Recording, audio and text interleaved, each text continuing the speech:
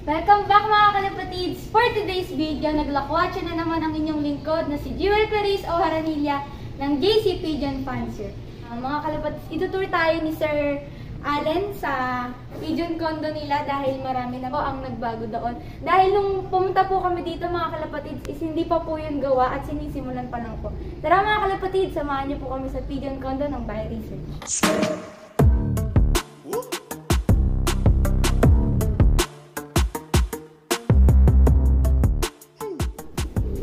So yan mga kalapatids, nandito na tayo sa Pigeon Condo ng Bio Research App.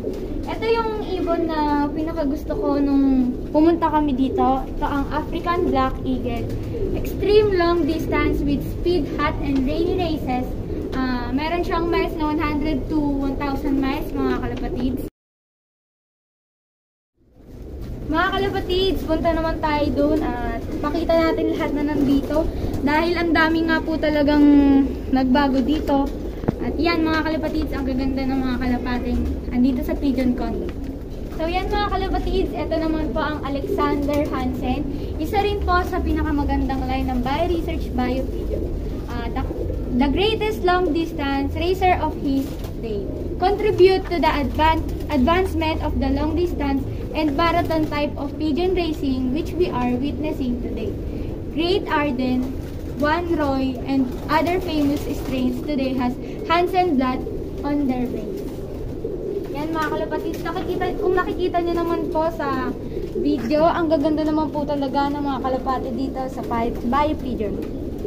Sir Allen, natanong ko lang po kung ano yung pinakamabentang line dito sa Bio Pigeon eh kung saan po nakalagay yung pinakamabentang line. Okay, sige. Tama, Number kalapatids. one, ito, ang number one, most saleable, yung Staff Van Riet.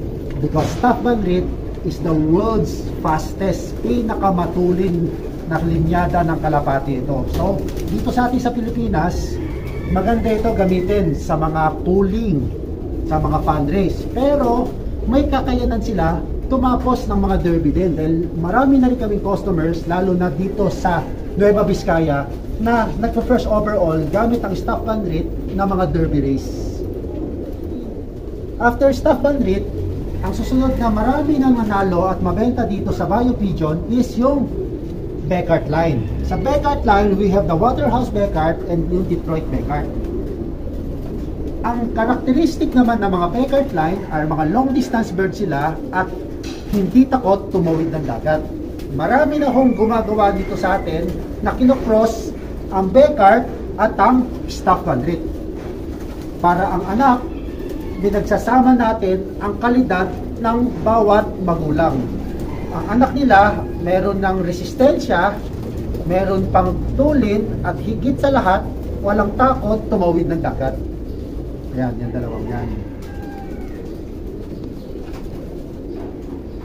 Bali Jewel, andito tayo ngayon sa aming yearling alley. Ito, yearlings alley ito nagsisimula sa 3,000 isa, iba-ibang linyada ang available. Pero color coding. Yes, katulad dito, puro blue bar, blue checkered lang ang nakalagay, but different lines ang available. Paano natin madidistinguish sa leg band? Bawat isa kasi yan, nasa system namin. Yun. Yan, mapapansin nyo, 3,000. Ito, 3,000 din ang isa. Different lines. At dito naman sa kabila, kung mapapansin nyo, mga whites naman is 6,000 naman ang isa. Ito, mga yearlings. Ano ibig sabihin ng yearlings? Kung mapapansin mo, mga matured na, mga naglulugon or lipas-lugon. Meaning, konting panahon pa, ready for breeding or pairing na sila.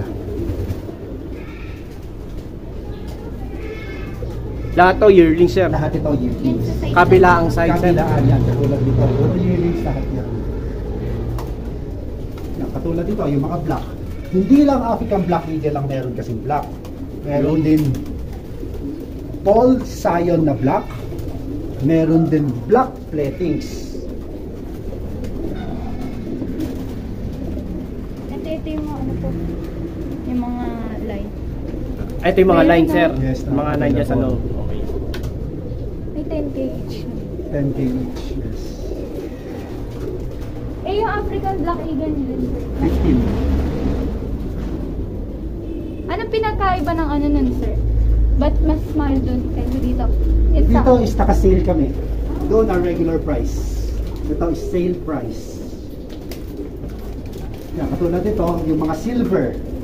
Ayan o. kulay Yung tila. ganda, oh. Ng kulay, no? Yan. Ang mga available lines are silver toy, saka silver plattings. Yan, meron din Grandier, may Hackermer din. Ang Ganda ng kulay niya.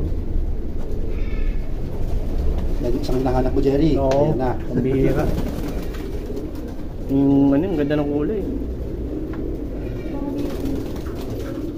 Ito, mga milky, yes. O yung mga mahilig sa kape. Kulay kape. Mga milky colors. Ito mga line yan, mga kalapatids. Yan.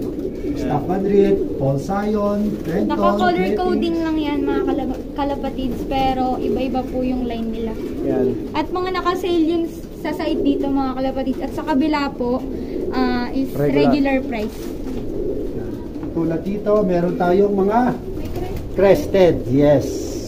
Yan. Yung may mga puyo sila. Puro breasted yan, no?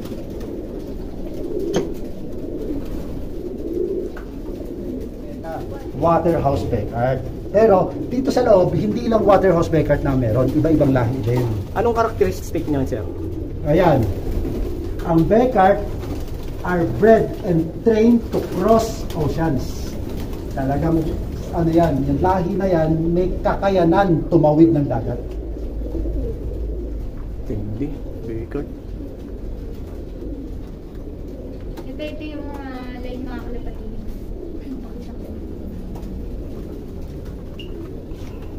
Waterhouse Tapos sa mga mahilig naman sa kulay paso o kulay kalawang, ayan, the red muleman. Yun. Yun pala yun. Yun yung Mule man.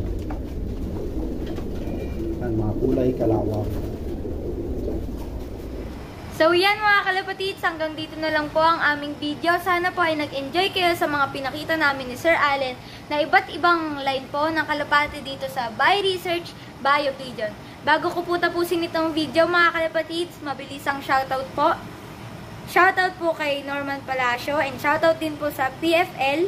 Um, shoutout din po kay Mark James, kay Miguel S. Rodriguez, kay Frankie Castillo, at kay Bombi Inocando, kay Renato Q. Cruz, kay Kamote Love mga kalapatids. At shoutout din po sa Bio Research Family.